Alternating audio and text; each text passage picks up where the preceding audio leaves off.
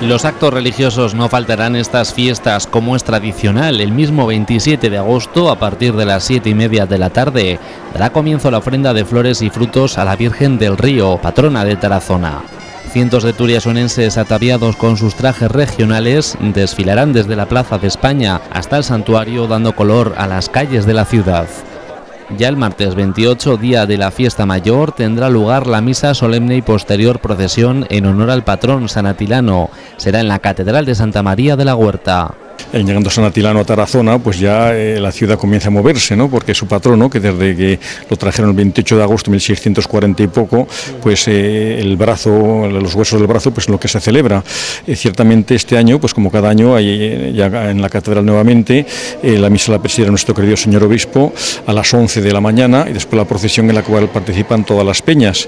Es hermoso ver, pues como en la peana principal con el relicario del santo, el señor alcalde le pone el anillo en esta actitud de eh, y de, de, su intercesión pues por Tarazona hoy tan necesaria en tantos campos laborales, sociales y eh, esta carencia de empleo y de trabajo, ¿no? eso que la catedral está impulsando.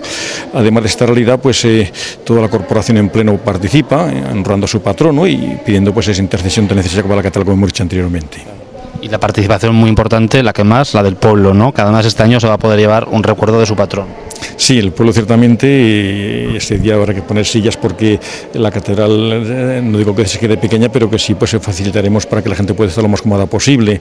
Eh, además, pues canta la coral turiasonense, no creo que es, ¿no? Y, en fin, eh, participando especialmente con sus actos. Y como he dicho, este año pues vamos a repartir una imagen sencillita que se ve San Atilano vestido de monje, ¿eh? cuando estuvo en los fallos luego ya por los Montes de Zamora, que lo hemos conseguido en la eh, exposición de la sede del hombre, que este año está en Oña, y esta imagen está en Valladolid en las cistercienses, se ve el santo pues con el pez o la trucha que digo yo, con las entrañas fuera, y la otra parte su anillo, como ya conocemos la historia, que la encontró a la vuelta de su peregrinación siendo obispo de hacer penitencia. ¿no? Ciertamente es un sencillo recuerdo, pero que nos lleve pues a tener San Atilano más presente, este cristiano mozárabe que tuvo que pagar cuota para poder vivir su fe, hoy muy actual.